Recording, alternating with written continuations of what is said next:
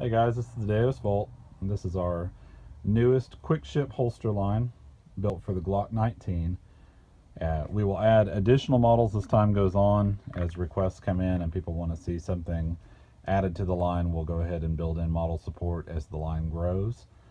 These don't come with adjustable retention like most of our other holsters. These are, are dialed in on a uh, automated mold setup. We've got the retention just right placement of the eyelets is just right so everything is nice and snappy. It's got a clean draw.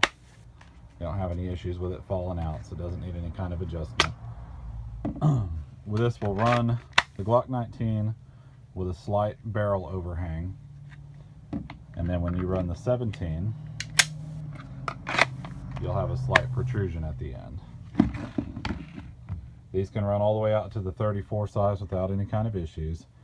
These come with three ride adjustment height settings, so you can mix and match, change the cants to forwards and negatives cants.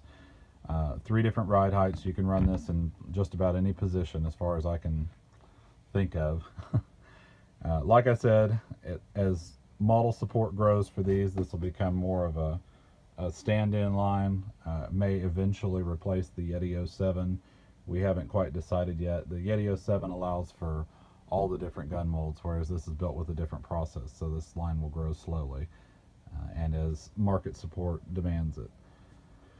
So if you guys have any questions about the new line, hit us up on here. Just shoot your questions on video. We'll get them answered as soon as we can.